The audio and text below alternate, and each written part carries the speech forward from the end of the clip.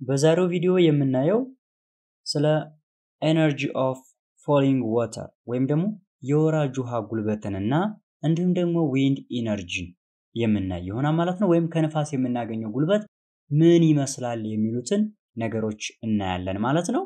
ስለዚህ energy of falling water ወይም ደግሞ የወራጅ ውሃ ጉልበት እንዴት ሆኖ ነው ይሄ ጉልበት ወደ electrical ጉልበት የሚቀየረው የሚለውን፣ ሁለተኛ ደግሞ ከነፋስ የምናገኘውን ጉልበት እንዴት አድርገን ነው ወደ electrical ጉልበት የሚቀየረው የሚሉትን ሁለቱን ነገሮች በደንብ እናያለን ማለት ነው። so እዚህ ጋር እንደምታዩት ውሃ ይኖረናል። ውሃው ከከፍታ ቦታ ላይ ወርዶ ልክ እዚህ ጋር የምታዩትን ተርባይን ያሽከረክረዋል።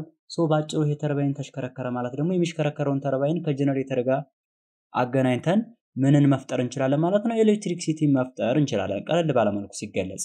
so ይህንን ስናደርግ በምን አይነት parameter ነው ይሄ energy? ምክንያቱም energy neither created not destroyed ነው። energy አይጠፋም፣ አይፈጠርም። ስለዚህ ከአንድ form of energy ወደ ሌላ form of energy ይቀየራል ነው ያለው። ስለዚህ ይሄ የሆነበት ምክንያት ምንድን ነው? እንዴት ነው ይሄ የውሃ ጉልበት ወደ ኤሌክትሪክ ሊቀየር የሚችለው የሚለውን በአጭሩ እናያለን ማለት ነው። እዚች ጋር እንደምታዩት ውሃው ከየት ተነስቶ ነው የሚመጣው? ከፍታ አለው አይደል? ኤች የምንለው ከፍታ አለው። ስለዚህ በዚህ ከፍታ ምክንያት ከተርባይኑ አንጻር ከሚያገኘው ተርባይን አንጻር የሚኖረው ከፍታ h የምንለው height አለው። ስለዚህ ምን አይነት ጉልበት አለ ማለት ነው? potential energy አለው ማለት ነው። so በዚህ case እንደምታውቁት mechanical energy ማለት mechanical energy ማለት የ potential energy እና የ kinetic energy ድምር ነው የሚሆነው። so ሁለቱን ስንደምራቸው የምናገኘው ምንድነው ማለት ነው? potential energy ነው። ስለዚህ መጀመሪያ ላይ ውሃው ከፍታ ቦታ ላይ እያለ የሚኖረው energy potential energy ነው። ያ potential energy ምን ማለት ነው? mgh ይሆናል ማለት ነው። mgh so እዚህ ጋር በደንብ እዩት። mass times gravity times height ማለት ነው። so mgh የውሃውን weight በከፍታው ስታባዙት የምታገኙት ጉልበት mechanical energy potential energy ነው። ነገር ግን somehow between them ሲሆን መሀል ላይ ሲደርስ ግን ምን ይኖረናል ማለት ነው? መሀል ላይ ሲደርስ ግን ሁለቱም አይነት energy ዎች ይኖሩናል። ያ ማለት potential energy ም kinetic energy ም ይኖረዋል። መሀል ላይ ሲደርስ የራሱ የሆነ ከፍታ አለው፣ የራሱ የሆነ height ስላለው ማለት ነው። height ኡ ይቀንሳል፣ speed ኡ ይጨምራል። ስለዚህ ሄቱ ሲቀንስና ስፒዱ ሲጨምር ኬኔቲክ ኤነርጂው ይጨምራል፣ ፖቴንሻል ኤነርጂው ይቀንሳል። ነገር ግን mechanical energy ሁል ጊዜም ተመሳሳይ ነው። ምክንያቱም የሁለቱ ድምር ነው። energy ው አይጠፋም፣ የትም ሊሄድ ስለማይችል ከ kinetic energy ወደ potential energy ተቀየረ እንጂ አጠቃላይ መጨረሻ ላይ ሁለቱም ብትደምሯቸው ግን የምታገኙት mechanical energy ተመሳሳይ ነው። መጨረሻ ላይ ደግሞ blade ኡ ላይ ሲያርፍ እዚህ ጋር ልክ ተርባይኑ ላይ ሲያርፍ ተርባይኑ ላይ በሚያርፍበት ጊዜ ደግሞ height ኡን ሙሉ በሙሉ ይቀይራል ወይም ደግሞ ይጨርሳል ማለት ነው። height ኡን ሙሉ በሙሉ ጨረሰ ማለት ከ height ጋር የሚባዛ የነበረው potential energy ሲጠፋ ወይም potential energy ውን ሲቀየር ነው የምንለው እዚህ ጋር። ስለዚህ potential energy ወደ ምን ተቀየረ ማለት ነው? potential energy ው ወደ kinetic energy ተቀየረ ማለት ነው። ስለዚህ ወደ kinetic energy ተቀይሯል ማለት mechanical energy የምንለው ሙሉ በሙሉ kinetic energy ሆኗል ማለት ነው። በመጨረሻም ምን እናገኛለን ማለት ነው? mechanical energy ው ከ kinetic energy ው ጋር እኩል ይሆናል half mv square የሚለውን parameter ይሰጠናል ማለት ነው። ስለዚህ ውሃው በሚወርድበት ሰዓት የዚህን አይነት parameter ይኖረዋል ማለት ነው። ስለዚህ እዚህ ጋር ምን ተረዳ ማለት ነው? አሁን በውሃው ምክንያት የምናገኘው energy mechanical energy እንለዋለን። ይሄ mechanical energy በ kinetic energy እና በ potential energy form ያገኘው ነበረ። ስለዚህ ይህንን mechanical energy እንዴት አድርገን ነው ወደ electrical energy የቀየርነው ስንል ደግሞ ይህ ተርባይን ሲሽከረከር ጄኔሬተሩ ጋር በሚገናኝበት ጊዜ የሚሽከረከረውን ተርባይን ጄኔሬተሩ ወደ ኤሌክትሪክ ቀየረው ማለት ነው። ስለዚህ ባጭሩ ከወራጅ ውሃ የምናገኘው energy የ mechanical energy ነበር። ያንን energy ደግሞ በጄኔሬተሩ አማካኝነት ስንቀይረው ወደ electrical ጉልበት ወይም ወደ electrical energy ይቀይርናል ማለት ነው። ስለዚህ እንደ ማጠቃለያ ከወራጅ ውሃ የምናገኘውን የ mechanical ጉልበት ወደ electrical energy በመቀየር ከአንድ form of energy ሌላ form of energy ቀይረን መጠቀም እንደምንችል አይተናል ማለት ነው። ሁለተኛው ደግሞ wind energy ወይም ደግሞ የንፋስ ጉልበት ይሆናል።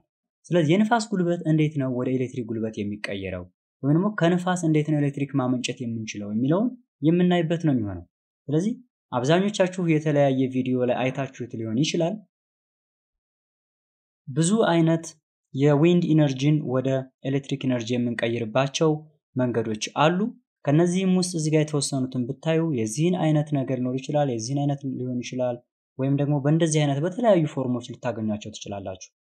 ባጭሩ የንፋሱን እንቅስቃሴ በመከተል ንፋሱ እነሱን በሚያሽከረክርበት ጊዜ እነሱ የሚሽከረከሩበትን ፍጥነት በመጠቀም ደግሞ ጄኔሬተሩ ይህንን የሽክርክሪት ወይም የእንቅስቃሴ ጉልበቱን ወደ ኤሌክትሪክ ጉልበት የሚቀይርበት system እንዳለ የሚያሳየን ነው ማለት ነው። በተለያዩ አይነት form ኦች ሊኖሩ ይችላሉ።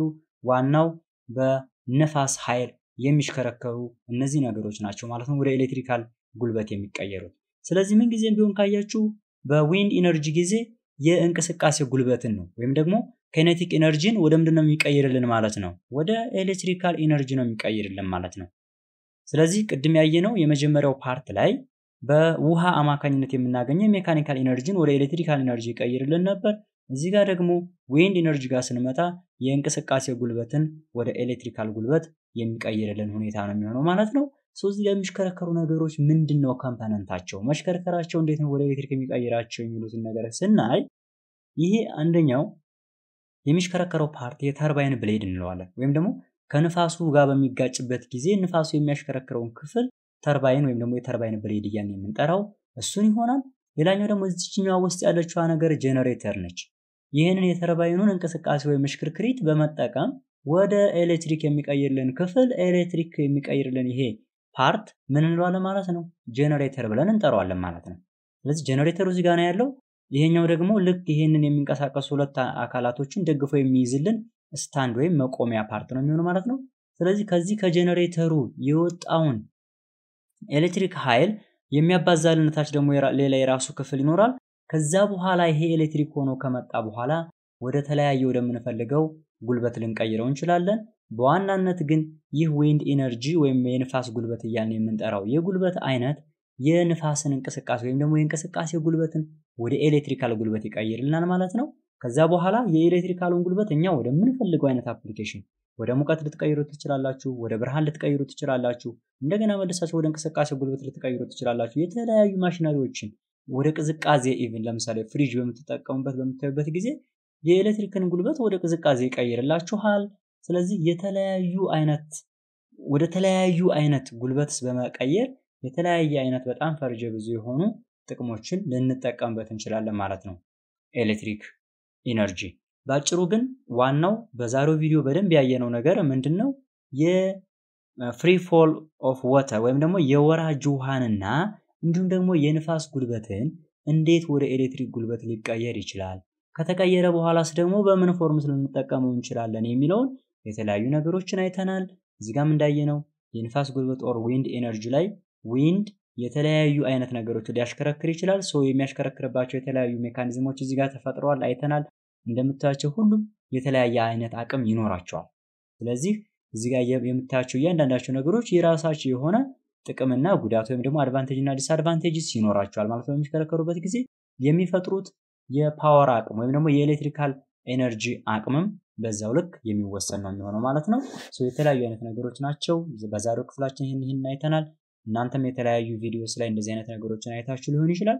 ስለዚህ ከንፋስና ከውሃ እንዴት አድርገን energy ማመንጨት እንችላለን የሚለውን አይተናል። እናንተም በተጨማሪ እነዚህ ነገሮች ሰፋ ለማድረግ የተለያዩ ቪዲዮዎችን እዩ። እንዴት ሊሰሩ እንደሚችሉ working mechanism ኣቸውን አጥኑ። በዛ ላይ እዚህ ጋር በደንብ ማየት ያለባቸው ነገር ደግሞ ጄኔሬተር እንዴት ነው የእንቅስቃሴውን የተርባይንን ሽክርክሪት ወደ ኤሌክትሪክ ሊቀይር የሚችለው የሚለውንም በተለያዩ ቪዲዮዎችን በማየት ለእንደዚህ አይነት ነገር ያላችሁን ነገሮች እንድታሰፉ ከወዲሁ እናሳስባለን። ስለዚህ ለዛሬው የነበረን የንፋስንና የውሃን energy እንዴት ወደ electrical energy ቀይረን መጠቀም እንችላለን የሚለው lecture ወይም ትምህርት እዚህ ጋር ይበቃናል። በሌላ ቪዲዮ እስከምንገናኝ ድረስ ሰላም ቆዩ።